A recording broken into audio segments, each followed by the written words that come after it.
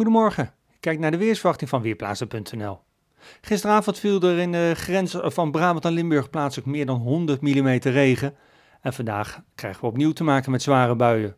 Vanochtend valt het allemaal nog mee. Er kan een heel lokaal spatje vallen, maar veel stelt het niet voor. Er zijn wel wolkenvelden en pas later in de ochtend breekt ook af en toe de zon door. Temperatuur loopt al aardig op en vanmiddag wordt het dan zo'n 23, misschien lokaal zelfs 25 graden.